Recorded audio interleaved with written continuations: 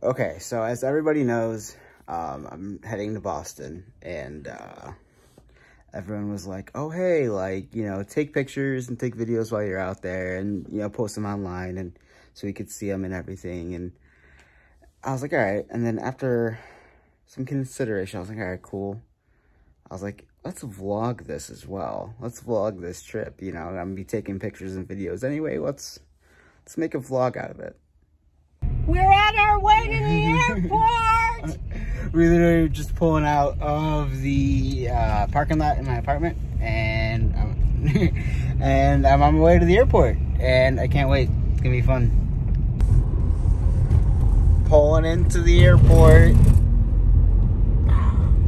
It's crazy. It's happening. Why is your car farting, Mom?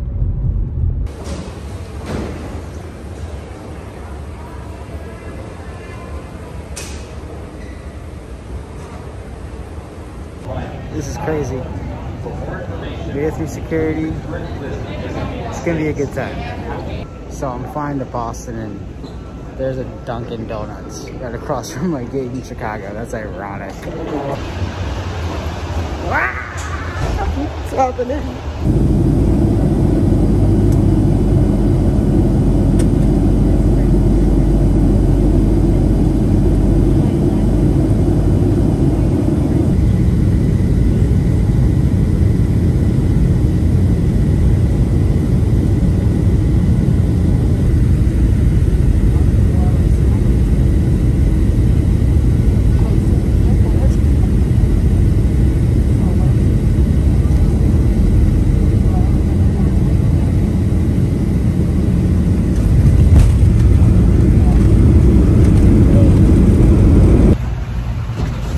I have shipped.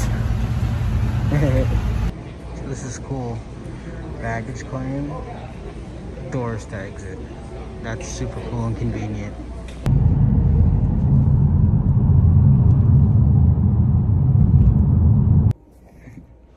So, funny story about getting to the hotel. So, you know, I, I grabbed my luggage and I'm like, oh shit, this is nice. Like the, you know, the exit is like right next to the luggage area. I'm like, that's, yo, that's dope. You just grab and go. I'm like, yo, this is awesome. Perfect, right? so I get outside, I, I, I order a lift, right?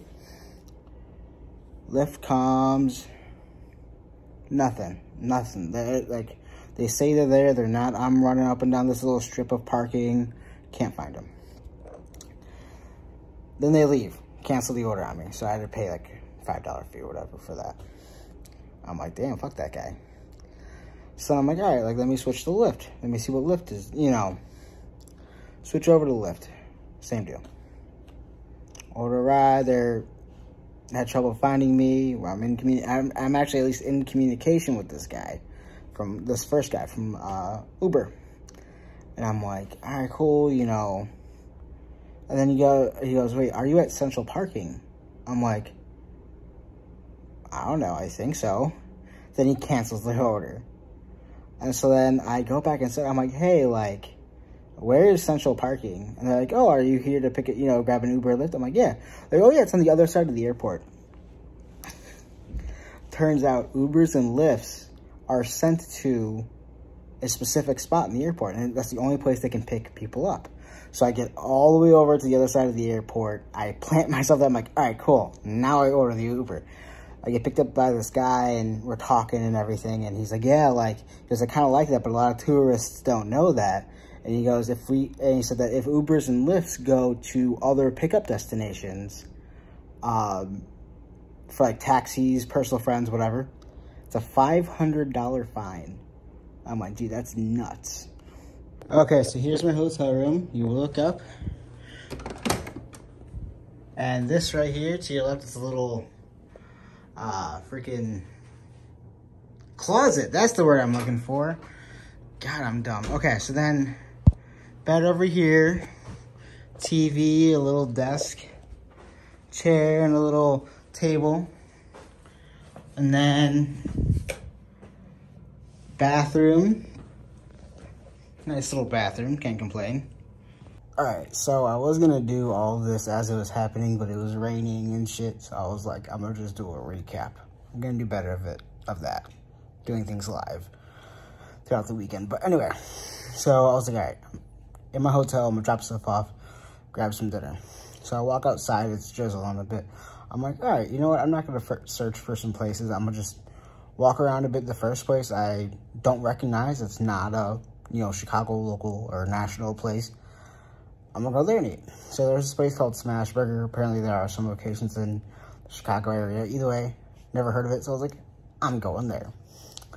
Really good food. Had a good time. So I was like, all right, like, you know, I knew that I was gonna get tired pretty soon from traveling and stuff. So I was like, all right, like, let me find a bar near here. I'll go have a beer or two and head back to my hotel. So I searched bars near me saw a couple. I was like, all right. So I'm walking to this one. And first and foremost, Boston, what the fuck is up with their streets? Like, what the fuck? Like, it's freaking, yeah. Um, yeah, so I'm trying to get to this place. I can't find it. So I'm like, all right, there's like these two bars right here. I'm going to just check these two out. So I go inside this first one. I just walk through the door. I immediately walk out because I'm just like, I, I walk in and there are people in suits. I'm just like, yo, I'm in here in freaking basketball shorts and a Bruins long sleeve. I'm like, yeah, no, no. So I walk out and I was like, ah, there's another bar up the street. They were closed due to COVID, but there was another bar block further. So I'm like, all right, cool. I walk in there and uh, they're like, oh yeah, like, you know, you have to eat something to order alcohol. So I'm like, all right. I'll get some, got something small and had a beer. I'm like, all right, you know what? I'm gonna just go. So then after all that, I'm just sitting here like, all right. Red Sox game's on. I probably have NESN on the hotel's TV. Let's find a place where I can pick up a six pack and just go home and relax for the night. You know, I knew I was gonna be tired after flying. So I'm like, all right. I walk back to the hotel. There's a CVS across the street. Go in there. The CVS doesn't sell any type of alcohol. I'm like, all right. So I walk back to the hotel, and there's like this like restaurant kind of next to it. And there's this guy outside having a smoke. I said, hey, like, do you know a place that sells like beer around here? He goes, oh yeah, like right behind the hotel. There's you know like make two lefts and there's this liquor store. I'm like, all right, cool. So I, I go over there. And this place said it was open till 10. It was like 8.30 at the time. Doors are locked. I'm like, motherfucker. So then I go back to the hotel. About to walk in, just call it a night. And uh, I was like, you know what, let me ask these two guys that are outside this hotel, like the two entrance people. And they're like, oh, hey, like, yeah, there's this. Uh, and I told them, like, the liquor store over there wasn't was closed or whatever. And they're like, all right, cool. So they were like, oh, hey, like there's a Star Market uh, two blocks that way. If you kind of look like this or whatever, you can kind of see it. I'm like, all right, cool. And they said, oh, just so you know, wink, wink, you can't bring alcohol into the hotel. So if it's not in a clear bag, we can't take it. I'm just like, all right, cool, thank you. So I go to the Star Hotel, picked up two six packs, and now I'm here. About to have a beer or two and watch the rest of the Red Sox game. Sitting here chilling in my king size bed watching the Red Sox. This is the fucking life. Tomorrow is the big day to see Fenway.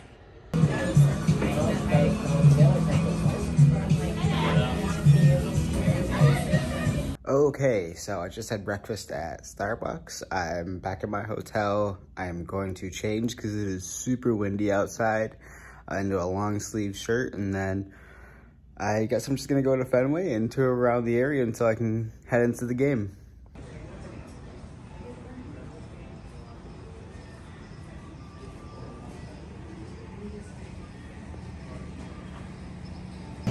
$200 at the Red Sox team store later. It's time to drop off my stuff back at the hotel and come back over here.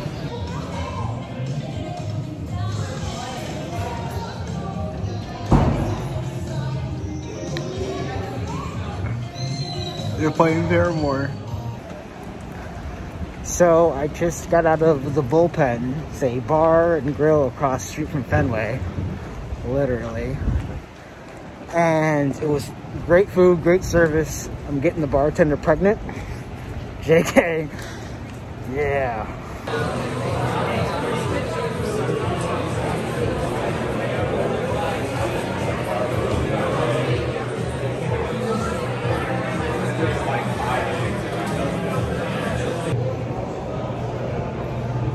Oh my god.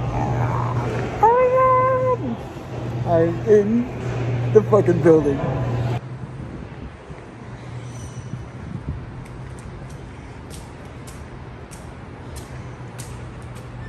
Oh my god. Fuck, she's beautiful.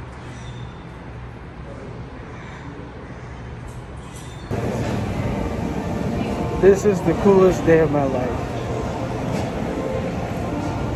All the years of hard work, saving up money,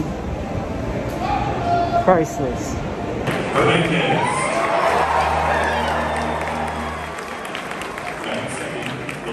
number 99, Alex Verdugo.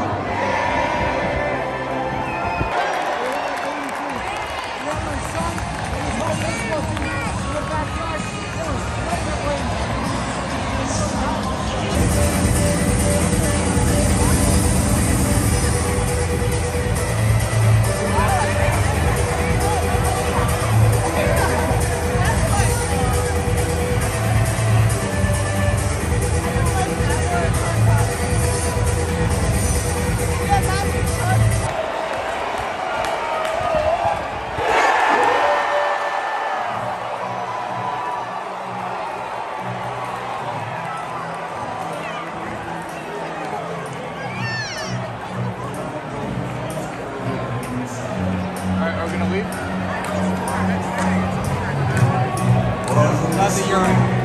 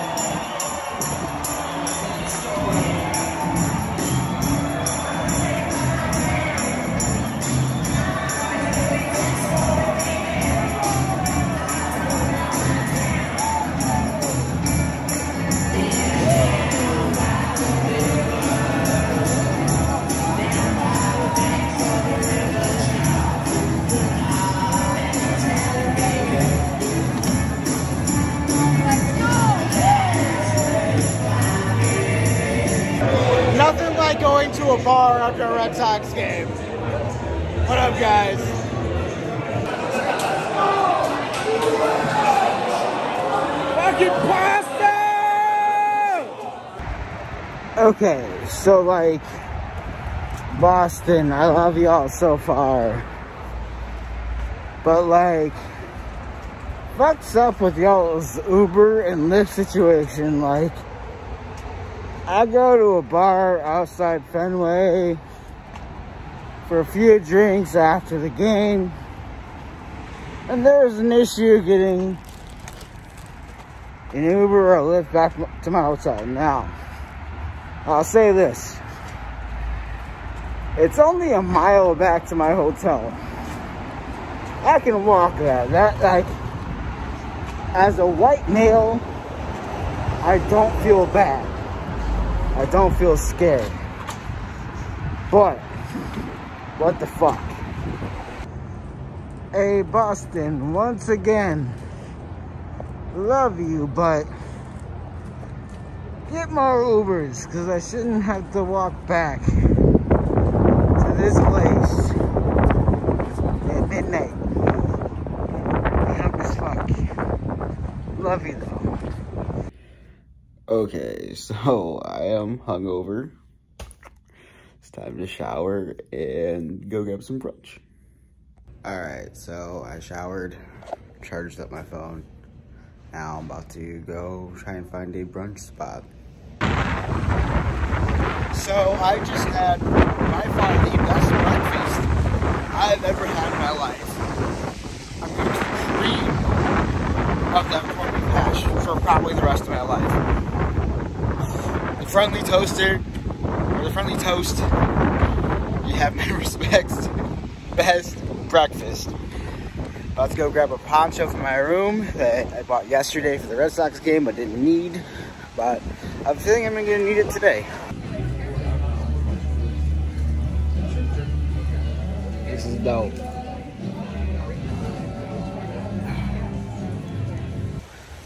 Okay, so it's raining. Haven't been updating that much because of the rain. But I hit up the Sam Adams Brewery. That was a lot of fun. My friend Kate, hi Kate, Merm, I was saying to hit up a pub, a Beantown Pub in downtown, uh, in the historic part of, of downtown Boston. Just now leaving there. I am currently on my way to the Cheers Bar.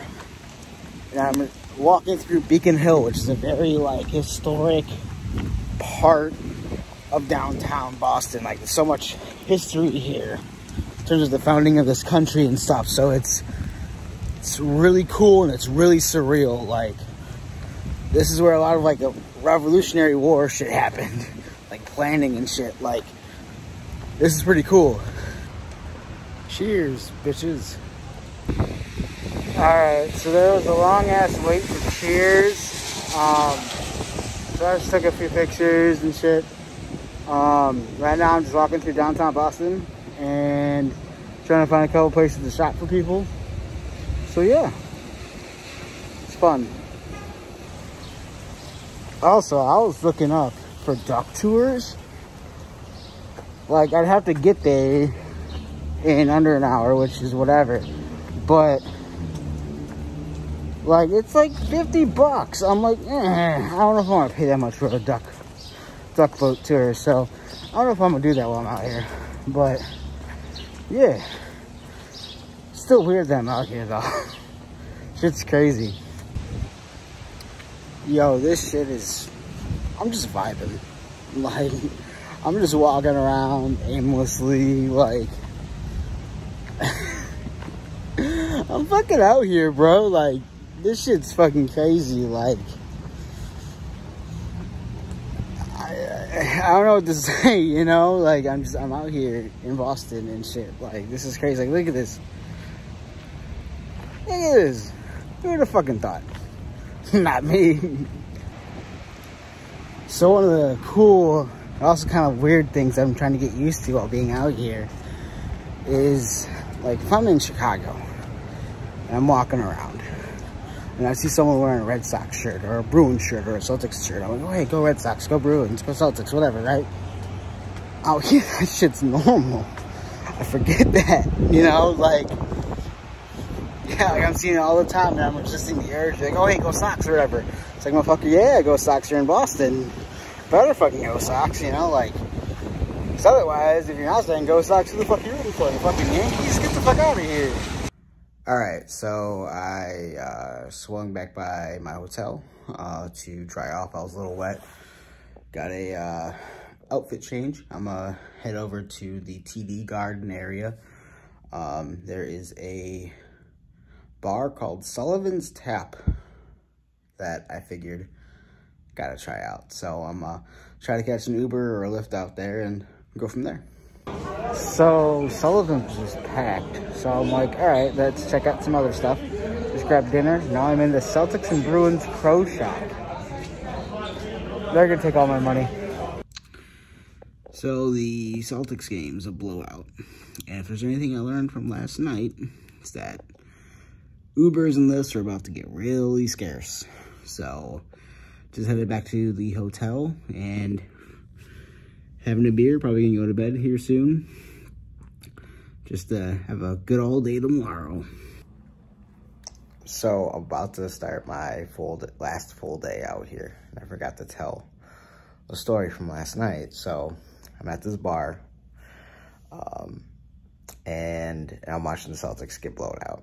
And there's this really drunk girl next to me. She's putting me in her Snapchat. Like, oh my God, go Celtics, go Bruins, you know, fun little time. So I'm getting ready to get out of here. I was like, Celtics are getting blown out. Like, I'm gonna catch an Uber back to my hotel because I already know that the Uber situation is gonna be really scarce there soon. So I'm about to get up and go. And this girl next to me, she goes, she just grabs my phone and goes, what's your Instagram? And like puts her Instagram in my phone and has, and like has me follow her.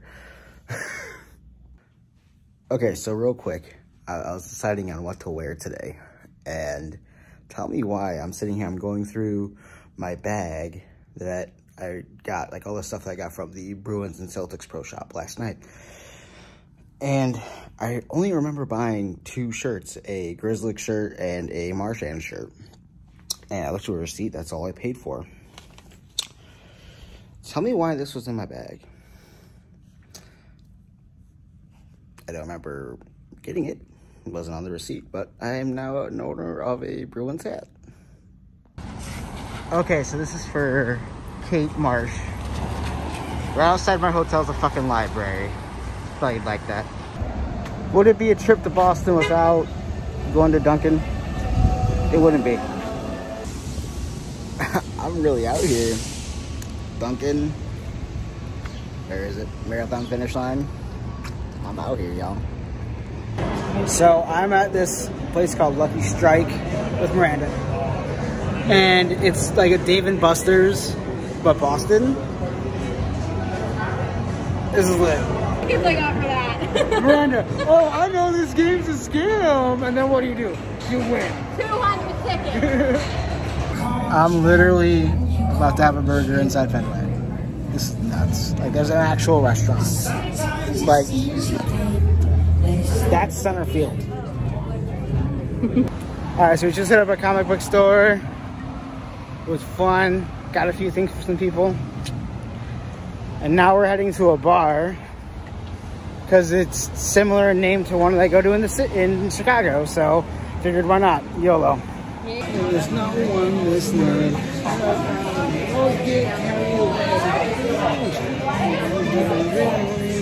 You're missing me dancing.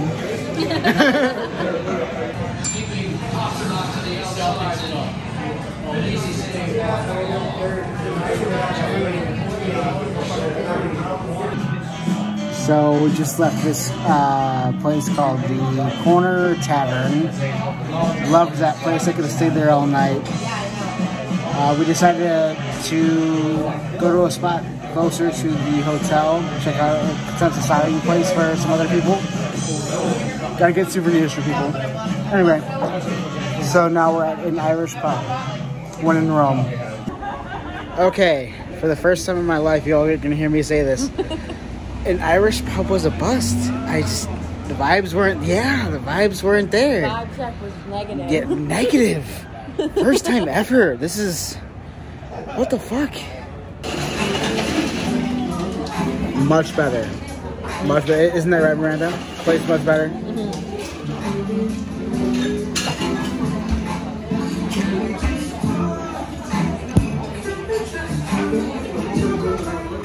No. Yeah.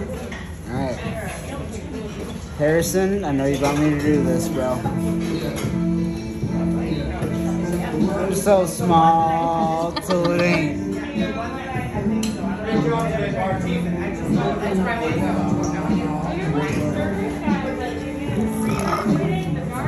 Ah. Why the fuck did I just do that? Why'd you let me do that? I didn't tell you to do that. I just checked the fucking Long Island. what the? I'm trying to get back to my hotel. Thank God I got someone with me. okay. This is to my friends who I sent the video that y'all just saw of me chugging a Long Island. Happened a little bit ago in this video. You're not gonna get to your hotel, okay? Motherfuckers, it's right there. Shut the fuck up. I got back okay. Chugging that Long Island last night was a wise choice. Gonna shower here, get everything packed up, and gotta check out my check out of my hotel in about an hour or two. So just gonna relax until then. All right, so about to just got done packing up. About to uh, check out of my hotel. Uh, got to be out of here by 11. It's like 9.30, so just figured I'd check out now and grab some brunch, shop at one more place, and then head to the airport. Copley Plaza, it's been real. Fancy as fuck hotel, loved it. Okay, but like, this hotel, fancy as hell, alright? Okay, so I just checked out of the hotel. That's loud. Anyway, I'm heading over to the Friendly Toast again because that was literally life-changing breakfast. So, gonna hit them up one more time. Then I have to stuff. What the fuck? Anyway, then I gotta grab something for my mom and have an idea of where to go for her. Then it's off to the airport. So I just had breakfast or brunch. Now I'm waiting for comic book store to open. Gonna check out another one and check out a few more places in this uh, market area in downtown. Just went to another comic book store. Got some really cool shit there for my mom. She's gonna love it. Um, yeah, dude, this is this is like Quincy Market in downtown, it's it's great. Love the vibes. So I just took a few pics of the harbor, and uh, and I think I might grab a drink somewhere. I think maybe I don't know. Before I head to the airport, I still got time. I don't know. Haven't decided yet. Just had a drink at the Rainier Tavern. I'm waiting on an Uber to go to the airport. I think it's safe to say that I thoroughly enjoyed myself. I'm coming back out here soon, that's no question about it. Like, I had way too much fun.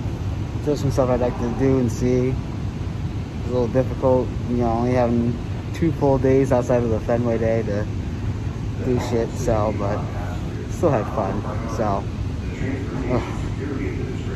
Yeah. Heading home. God damn it. I'm sad now. I'm coming back home. It was fun. Don't get me wrong. It was fun, but sucks to be home. Rather be out there.